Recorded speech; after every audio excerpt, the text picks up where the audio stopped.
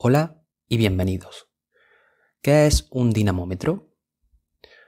Un dinamómetro es un instrumento de medida que nos da información sobre la fuerza o el peso ejercida sobre él. El dinamómetro procede del griego, del prefijo dinam, que significa fuerza, y del sufijo metro, que significa instrumento que mide. El dinamómetro mide fuerzas en unidades del sistema internacional. Newton, N mayúscula. El dinamómetro está formado por una carcasa exterior, normalmente plástica y transparente. En la parte superior existe un gancho fijo y en la parte inferior un gancho móvil.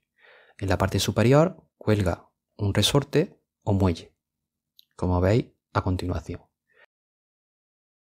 Ese muelle está unido a su vez a la parte móvil inferior, y en esa zona existe una platina. Aquí la veis y aquí la parte móvil. La graduación se expresa sobre la carcasa exterior. Esta platina, dependiendo de la zona donde esté, va a marcar la medida de fuerza. Aquí sería 2 newton y aquí 0 newton. Existen muchos tipos de dinamómetros de 0,5, 1, 2, 5 o 10 newton. Y muchos más.